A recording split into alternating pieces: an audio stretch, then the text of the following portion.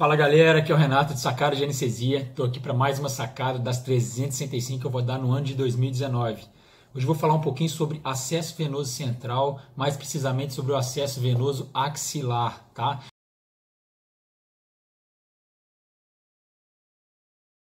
Na minha opinião, é o acesso central mais fácil de fazer guiado por ultrassom e na verdade é a minha primeira escolha sempre que possível. Eu vou falar para vocês por quê. A gente sempre deve comparar ao método tradicional, à técnica tradicional mais comum, que é o acesso pela veia jugular interna, né, com ultrassom. Todo mundo, a maioria das pessoas que manuseiam ultrassom, né, praticamente todo mundo, sabem fazer o acesso central, né, guiado por ultrassom na veia jugular. A gente, o acesso venoso jugular guiado por ultrassom tem alguns algumas desvantagens, vamos dizer assim. Primeira desvantagem, ao meu ver, é que normalmente a gente funciona fora de plano, né? out of plane. A gente não vê toda a agulha. Lógico, a gente vê a veia jugular é, colabando um pouquinho né? com, a, com a, a pressão da agulha, mas a gente não vê a agulha entrando na veia certinho. A gente pode até virar o probe ao contrário, né? Em vez de ser transversal, botar o probe longitudinal e puncionar longitudinalmente. Só que mesmo assim, pacientes com pescoço mais curto, a gente não consegue deixar o probe tão longitudinal e fazer a punção, tá? É um acesso legal, muito bom. A maioria das pessoas tem como primeira escolha o acesso jugular, mas tem algumas desvantagens. Primeira delas, qual que é? Maior risco de infecção, isso já é comprovado na literatura, né? Maior incômodo para o paciente, porque o paciente fica com um negócio pendurado no pescoço, tá? Fica em região de dobra, então o paciente mexe para cá e para cá, maior risco de perda de catéter, do catéter também. Uma outra desvantagem, como a, pela jugular, você, como a veia está mais próxima assim do, do coração, da cava, assim, normalmente você tem que deixar inserir menos o catéter, então fica mais catéter para fora, maior chance de infecção, né? Aqui é mais difícil de fixar justamente por causa da dobra. E quando, quando é uma região que dá, tem movimento. Então o cateter fica sambando para lá e para cá. Às vezes ele fica entrando e saindo da pele. Isso aumenta a chance de infecção. Então a gente tem que pensar então também no conforto do paciente, como eu disse. Imagina só que ele vai ficar numa UTI ou no quarto com o cateter pendurado no pescoço, sendo que ele pode ter o acesso mais na veia axilar, mais lateral, mais distante do pescoço, no, quase no tórax né? praticamente no ombro, fica muito mais fácil, praticamente o paciente esquece que tem o catéter aqui. Então, por que, que eu faço? Minha primeira escolha sempre é a axilar.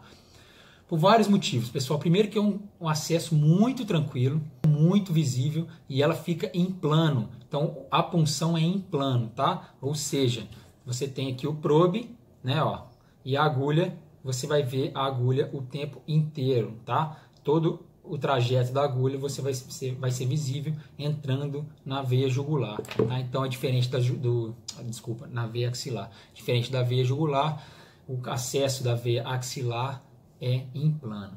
Tá? Outra vantagem da veia axilar, principalmente em cirurgias de cabeça e pescoço, de neuro, tá? na qual você não pode puncionar né? É, por exemplo, numa cirurgia de cabeça e pescoço, um esvaziamento axilar, é, desculpa, um esvaziamento cervical bilateral?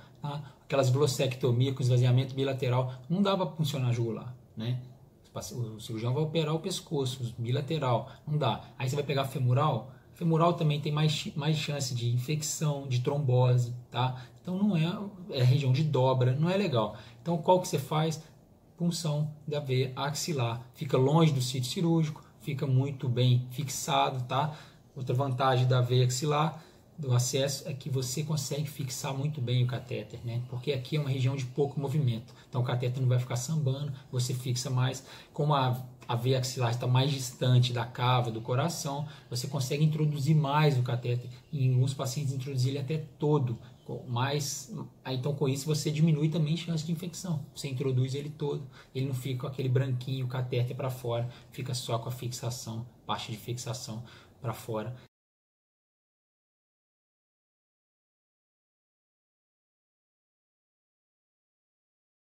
Muito mais fácil, tá? Mas Renato, por que você chama de veia axilar? Porque realmente, pessoal, a veia axilar ela surge da veia braquial, tá?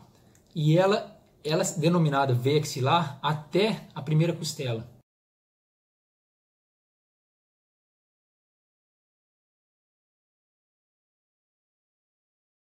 Depois da primeira costela, quando ela passa por cima da primeira costela, ela vira veia subclave.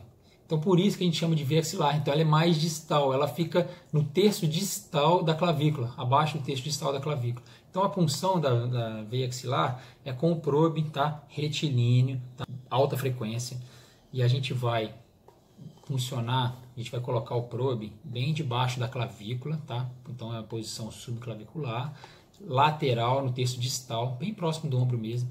Em vez de vocês colocarem o probe assim, vocês vão inclinar ele um pouquinho, 30 graus, em direção cranial, tá? Então em direção cranial a gente coloca o probe assim, e aí vocês vão ver essa imagem.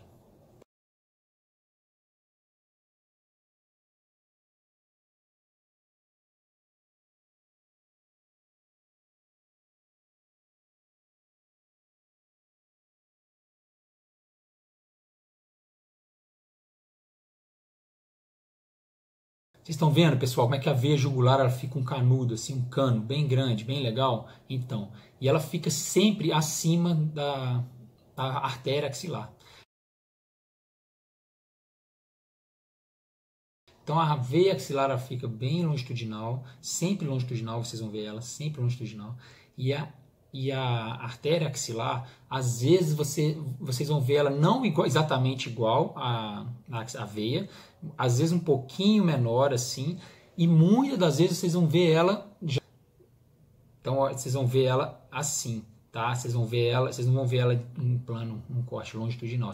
E esse corte a gente vai perceber que a artéria axilar vai estar pulsando.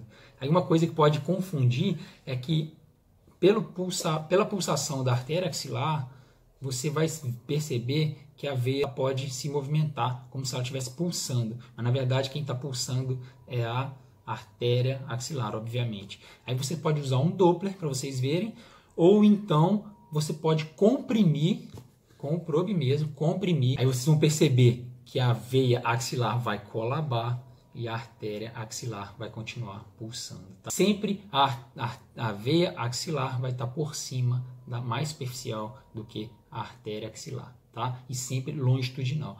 E aí é muito fácil, pessoal. Vocês vão simplesmente né, entrar com a agulha aqui, o probe aqui assim, ó, bem em plane, vocês vão entrar em plano para funcionar veia axilar lembrar o seguinte, como vocês inclinam um pouquinho o cranial assim, ó, tá? tem muito residente que não consegue fazer isso direito. Ó. O probe não está 90 graus, ele está inclinado cranialmente, como eu disse, não tá? Então a agulha, se vocês, se vocês se inclinarem assim, vocês colocarem a agulha aqui, vocês não vão ver a agulha. O difícil daqui é exatamente isso, é a, o agulhamento. Então, como quando você inclina, você não, você não pode botar, ó, vamos supor, tá aqui, né? Você inclinou, Ó, você não pode continuar com a agulha aqui. Você tem que, ó, tem que funcionar aqui, ó, mais aqui em cima. Aí quando você inclinar, você vai ver a agulha. Entendeu, pessoal? Então é isso. Então a veia axilar, pessoal, é a minha primeira escolha. Não tem chance de fazer pneumotórias, porque você consegue ver bem lá embaixo a pleura, tá?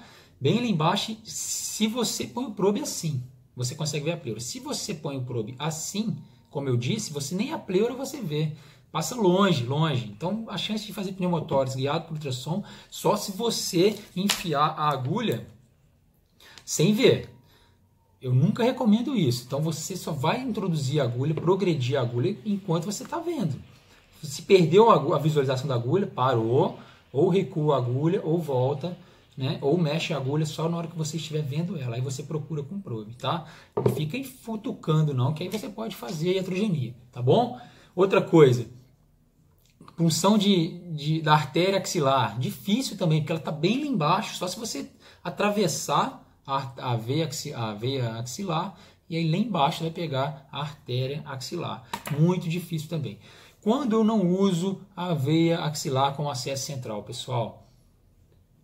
Dois motivos. Ou infecção no sítio cirúrgico, ou se, a cirurgia é lógico, nesse lado, tá? Mais um terceiro motivo, se o paciente tem coagulopatia. Aí eu evito, mesmo tendo chance mínima de puncionar a artéria, eu evito, porque se mesmo eu puncionar com coagulopatia, eu não vou conseguir comprimir a artéria axilar aqui, tá? Então aí eu pego, tento pegar a jugular ou a femoral, se tiver o paciente com coagulopatia, tá? Principalmente um transplante de fígado, por exemplo, eu já vou direto na jugular, eu não pego a veia axilar, não. Outra coisa, esqueçam ducto torácico. Ah, não, na punção subclave a gente tem chance de ducto pegar o ducto torácico. Não, pessoal, com ultrassom você está vendo tudo. Você está vendo direitinho sua agulha entrando na veia axilar. Então não tem dessa de ducto torácico, não, tem risco de fazer funcionar do torácico e fazer um quilotórax. Não, nada disso, tá? É super seguro, super simples, prático, vai dar conforto para o paciente, vai poder fixar muito bem, vai poder colocar um adesivo bonito, fica uma punção muito bonita, limpa, segura, com menor chance de infecção, né? longe do sítio cirúrgico. Outra coisa, paciente com traqueostomia, tá? Aí vai ter, vai fixar, vai ter a fixação da traqueostomia. Se você funciona jugular, como é que você vai fixar, né? Um outro, um outro detalhe também, pessoal. Geralmente a veia axilar não está trombosada. Né? Pega esses pacientes aí renal crônico multifuncionados, geralmente as duas jugulares, que é onde o pessoal tenta mais, está tudo trombosado. Ou então lugares onde o paciente já teve catéter, geralmente é jugular. Né? Aí a subclave, você vai olhar, geralmente a subclave também está trombosada. Tá? Mas a axilar às vezes não, então você consegue funcionar e reintroduzir o catéter e aí às vezes dá certo, tá bom? É isso, pessoal. Então espero que tenham gostado do vídeo, tá? Dê um like, compartilhe, se inscreva no canal, ative as notificações para poder receber as notificações diárias aí dos vídeos diários e até amanhã, se Deus quiser. Grande abraço.